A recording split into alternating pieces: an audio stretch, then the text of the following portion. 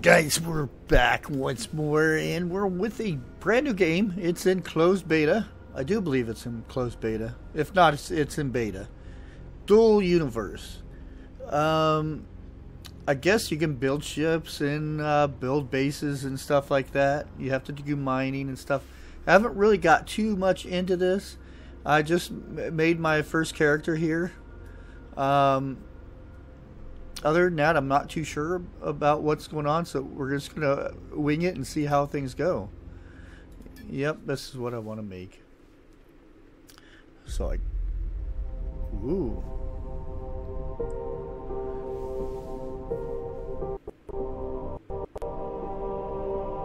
A little bit of lag already. That's not too good.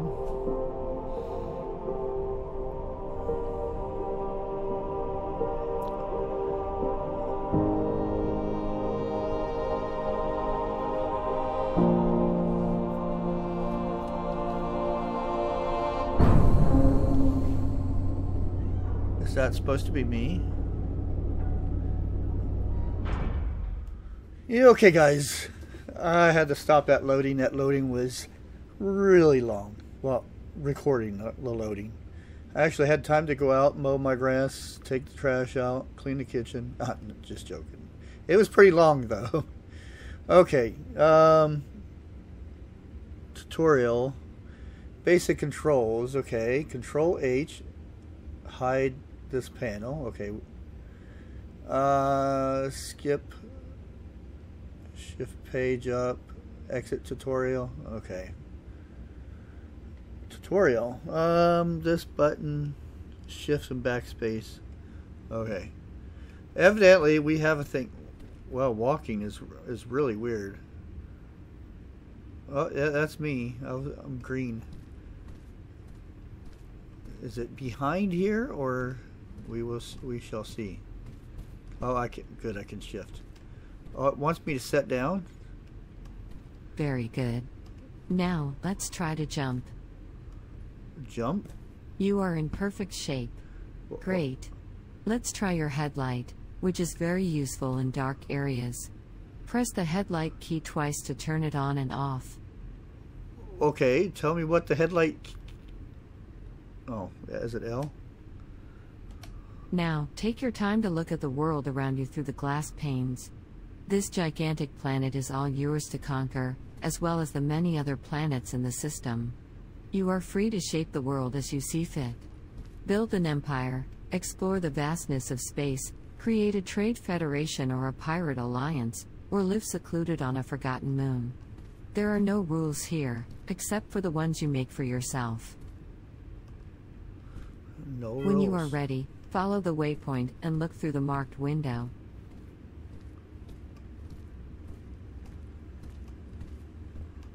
The buildings in front of you are one of the many district areas of Alioth. Districts contain all the facilities that you will need to begin your journey. In particular, they host institutes where various tutorials are located. We will get back to that later. Let's prepare you for the journey. Head downstairs and follow the waypoint. Okay, guess we're headed downstairs now, guys. Continue down and get close to the screen, marked with a green waypoint.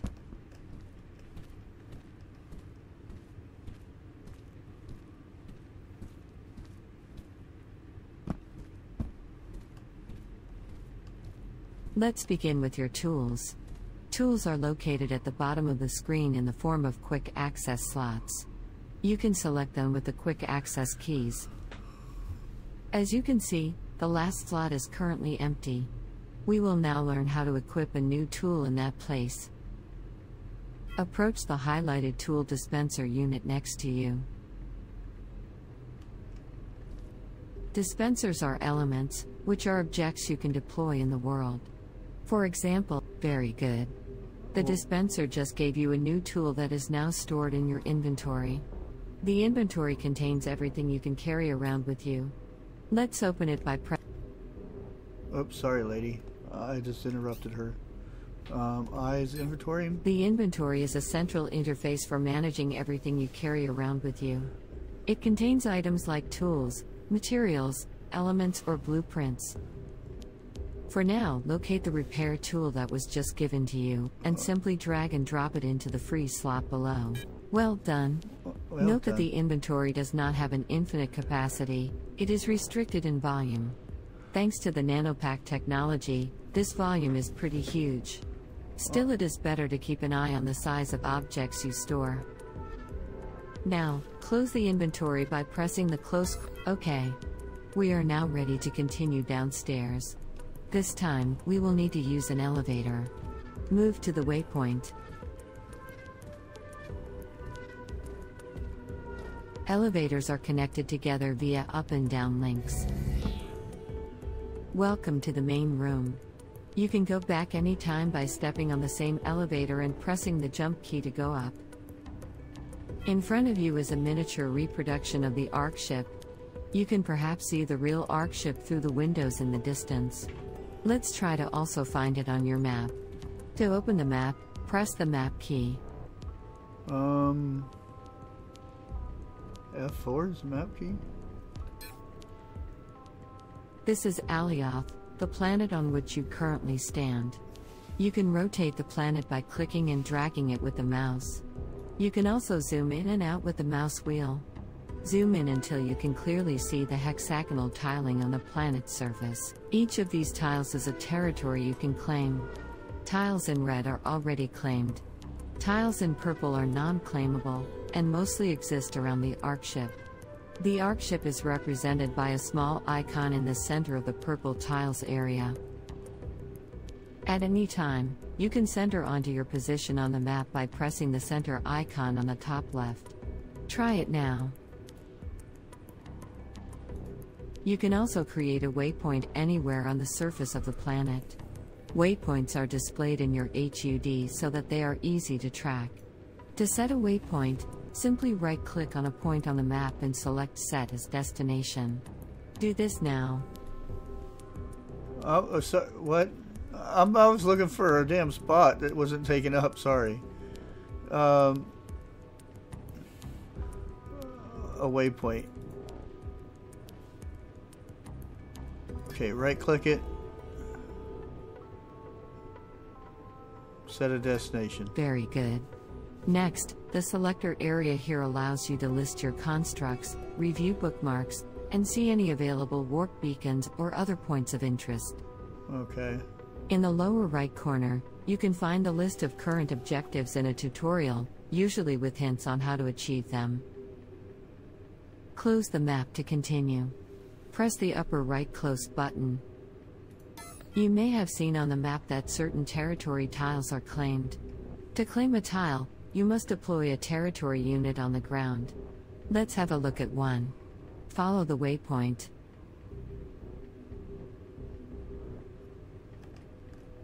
Is that what they look like? Okay. As you can see, it's quite huge.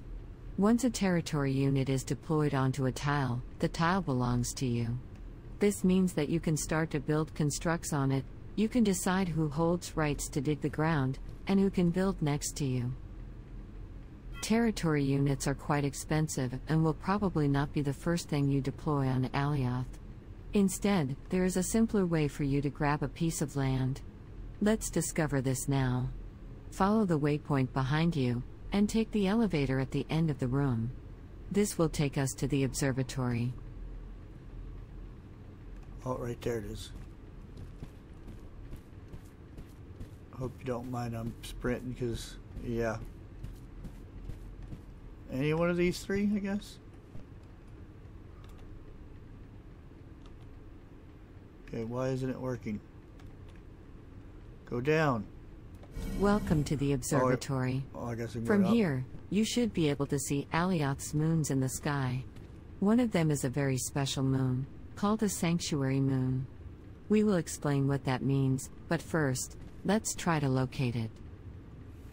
Open the map again by pressing the map key. Okay. The map also contains a solar system view. Click on the System tab to open it. Here you can see all the planets currently accessible in the system. Select Alioth, the planet where you currently are located, by clicking As you can see, Alioth has three moons. One of them looks a bit like a twin of Alioth and is marked with a small shield icon. This is the Sanctuary Twin Moon, or the. Excellent. Now, let's click the Set Destination button. Good. Now, before we leave, let's have a look at the surface of this moon and find this twin moon. Just like Alioth or any other planet, is covered with tiles that you can claim. A sanctuary moon is a moon where no combat will ever occur, as it is a safe zone. This Oh, means cool. that a territory you claim will remain yours forever, and nobody can take your belongings or build anything there without your consent.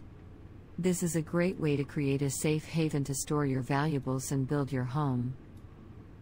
You can claim only one tile on a sanctuary moon, and you will need a special sanctuary territory unit for that purpose. You already have one in your inventory, so Okay. don't worry. Oh, good. Close the map window. Notice how the sanctuary twin moon is now identified by the waypoint in the sky. Yeah. There is a shuttle service, which you will see later, that can bring you there. Oh, cool. Okay, let's get back to the rest of the tutorial. Head down via the nearby elevators. Now is the time to present the key pillar activities that are available for Novians. Each will be presented here quickly, and you will be able to discover more about them via the institutes and their dedicated tutorials later. Okay. Follow the waypoint to the mining station first.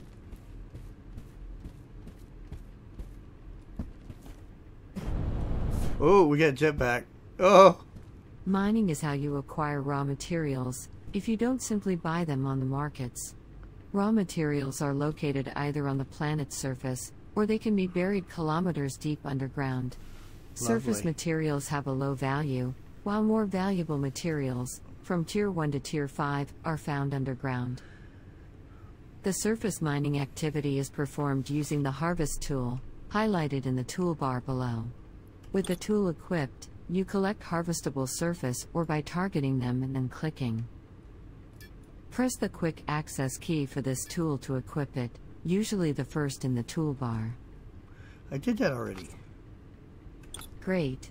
Unfortunately, there are no surface harvestable ores here. To practice, you can access the dedicated tutorial in the Mining Institute. To continue, unequip this tool by pressing the to mine deep underground. First, you use the scanner tool highlighted here, which finds available ores in a large radius. Whoa. Once in close range, the directional detector will help you pinpoint the location of the material. Finally, the highlighted mining tool is used to collect the found material. You'll learn more about these tools in the interactive mining tutorial, located inside the Mining Institute. Now, let's talk about the markets. Approach the waypoint.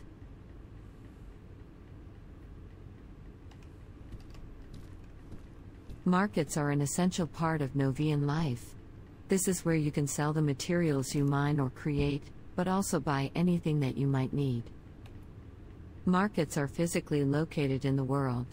They are accessible either via market pod units, like the one in front of you, or via the integrated nanomarket interface.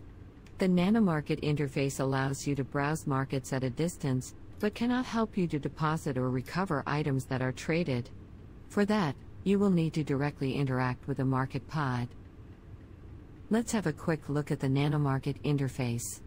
To open it, press the nanomarket key.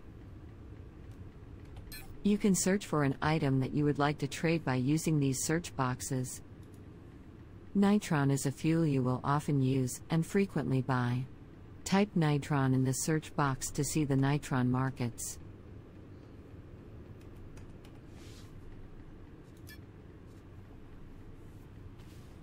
Okay, we have some. Oh, I d- okay, I did that. What do you want me to do? Hit, okay, I'll hit enter. Here are the market orders for Nitron. These are all the intentions to buy or sell Nitron by other Novians on various markets in the solar system. You ah, can pick the I'm cheapest or the nearest offer, depending on your priorities. You can create your own buy or sell orders, or let the system pick the best offer for you. We will look into this at the end of this tutorial, when we oh. will buy Nitron for your speeder vehicle. Oh, will we now? For now, let's close the nanomarket interface. Okay. Let's now have a look at another important activity industry. Go to the industry station, just a few meters to the left. In front of you is an assembly line, one of the many industry unit elements available. These include chemical reactors, glass furnaces, refineries, or smelters. Each industry unit type specializes in certain types of recipes. The assembly line takes ingredients from an entry container, like the one here on the left, and then runs a recipe to craft elements. The elements are stored in the exit container, as seen here on the right, that can be chained as an entry container for another industry unit. The recipes are selected using the industry unit interface. You can learn about that in the dedicated industry tutorial, found at the Industry Institute. Thankfully, entry level recipes for simple products can be run. Excellent. Now, let's open the NanoCrafter by pressing the NanoCrafter key. We are going to craft some fuel. Great. This interface allows you to pick a recipe and run it in the background to produce simple products. On the left is a selection area to pick a recipe. You currently have just a few ingredients, which allow a limited set of recipes. Now click on Nitron Fuel to select its recipe. This window shows you the necessary ingredients, which you just retrieved from the dispenser. Simply click on Add to Queue to start producing. Fantastic! Your job is now in the queue and a batch of Nitron will be ready in a few seconds. That will be all for this short introduction.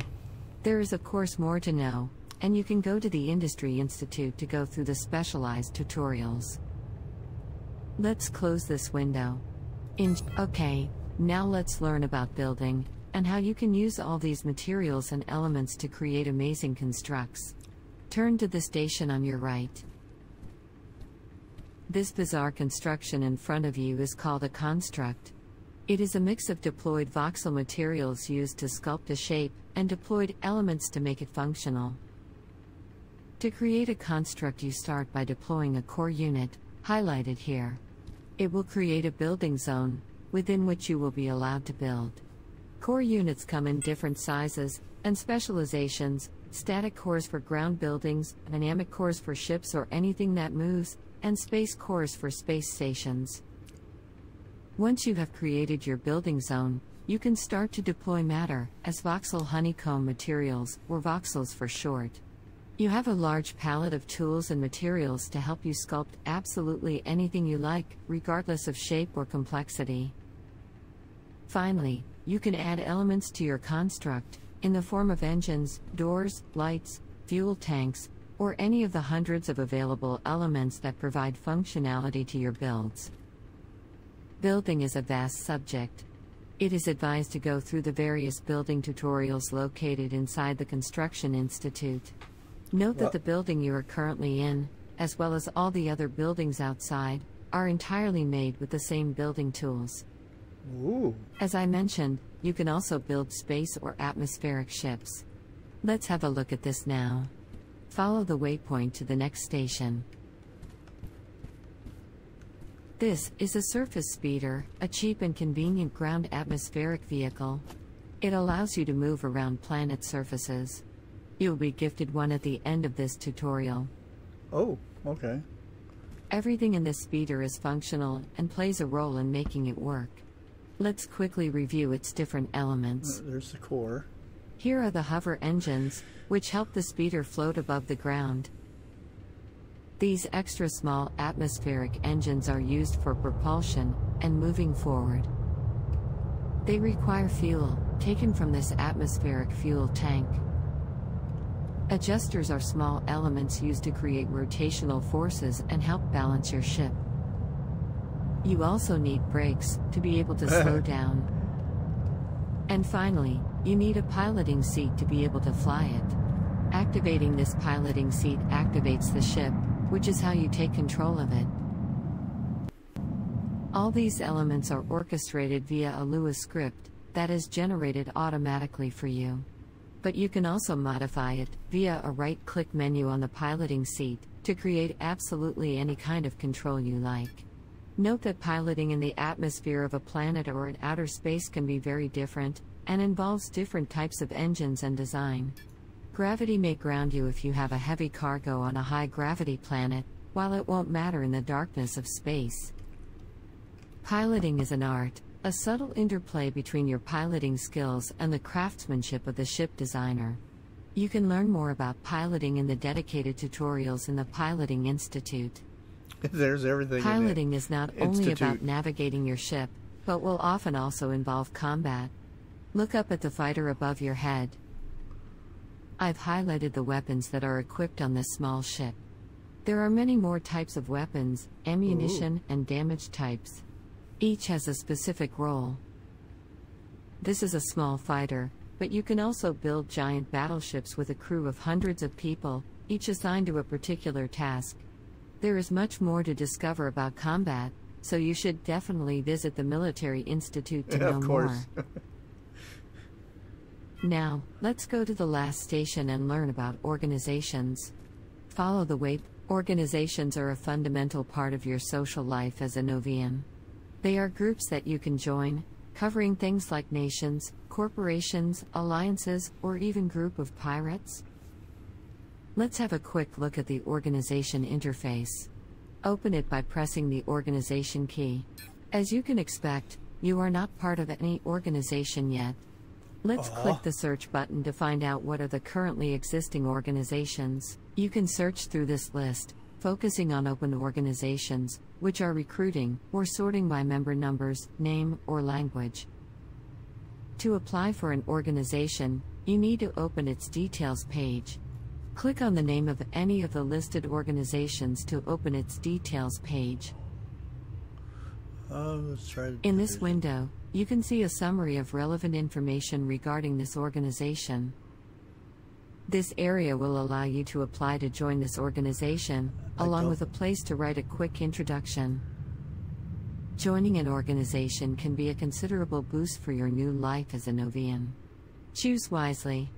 You can also decide to create your organization from scratch, even if this is a little bit more advanced.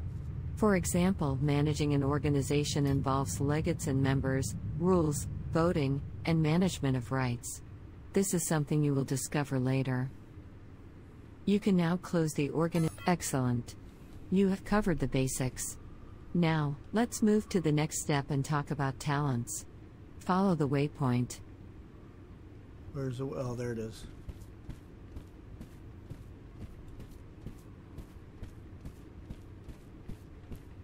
Open the talent window by pressing the talent key. I have two.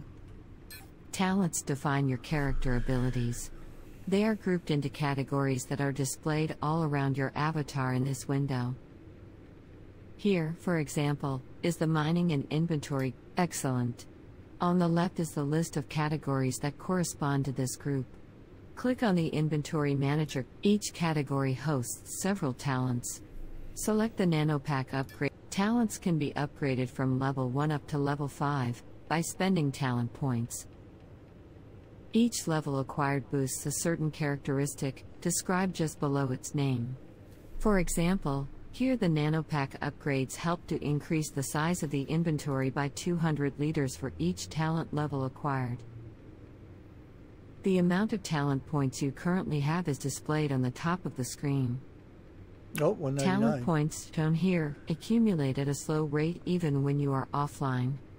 Oh, The Invest Points button allows you to instantly train a particular talent. You need to have enough points for the talent you are aiming for. To accumulate points more quickly, queue a talent. Queuing boosts considerably how quickly you gain talent by increasing the accumulation rate. Let's train the first level of nanopack upgrades. Press the queue talent button. As you can see, the selected talent now displays in the queue. You can queue several talents to train one after the other. Note that dependencies between talents might exist, and you should train talents in the right order. See how the acquisition rate is much faster during active learning when a talent is in a queue. It is a good practice to always have several talents scheduled in the queue to be able to train them without interruption. Queued talents also train when you are offline. So, make sure to always have a filled queue that spans a long duration. If the queue ends when you are not online, you will fall back to the slow talent point accumulation rate. Take your time to review the existing talents and think about how you want to plan them out. You can become hyper specialized or decide to be a jack of all trades. When you're ready, you can close the talent window. At this point, you may be overwhelmed by the number of interfaces and their shortcuts. Thankfully, you don't have to remember all that. Let's enter into free mouse mode by pressing the free mouse key. The menu on the left is a quick access to the interfaces. And since your mouse is now free, you can simply click on them. Note that you can also select the tools in your toolbar and interact with many more menus and options in this mode. For example, the notification icon in the lower right part of the screen, which you can now access. An excellent reference is the codex. You also have access to the windowed codex that you can resize and move. Click on the windowed codex button. You can browse many topics in the menu here. Normally, when you leave the free mouse mode, temporary windows are closed. Not the windowed codex. It can be helpful to pin some help content on the side while you are performing the actions described in it. For now, we are going to close this window, as we need the screen space. To do so, click again on the windowed codex menu. Another source of help are hints. Hints will appear regularly on the right of the screen, depending on your actions. I've triggered a hint for you right now. Okay. You can always find them in the hint window, or by pressing the hint key, so you will never miss one. OK. Now, close the free mouse mode and return to the 3D view. To do so, Press Let's discover a great activity that is available to you right from the start. Go through the large exits, down the stairs, to the waypoint. Okay guys, I think I'm going to run down here. And I think what we're going to do... Welcome to the Surrogate VR stations. Here you can control Lady. a remote robot in VR telepresence. This is a fantastic way to discover other locations and learn about the possibilities offered in this world. Perhaps you can visit a large organization headquarters or play tourist in extraordinary places. Here is the way it works you can enter a VR station by activating it. Okay. You can then select a destination site mm. among those that are public and are made accessible to you. You take control of a robot that awaits in a distant pod. Anyone Lady. can deploy a pod in their construct and make it public for visitors. However, as a robot, your capacities are limited, so this is just a way to visit an area remotely. Okay. It is not a teleport. These are fake stations, you cannot use them. But I will show you the real one on the way out, a bit later. Okay. If you look around, you may have noticed those buttons with a question mark on them. They are info buttons. They are placed in front of points of interest and you can press them to display information. Try it now. Activate this button. Oh. Great. The information closes automatically, or you can close it yourself with a cancel key. Another power. Okay, guys. I think this tutorial has went on quite far enough. I'm going to go ahead and end this episode right here, and then we'll go try to catch on when I come back. Hopefully. because I'm going to log out here. Hopefully it continues from this point. But I didn't want to go too far into this. Boy, that's loud. But anyways, I hope you enjoyed this little uh, tutorial thing. Because this looks like it's going to be quite complicated of a game to start out with. But we'll get it. Well, it looks like somebody fell. okay.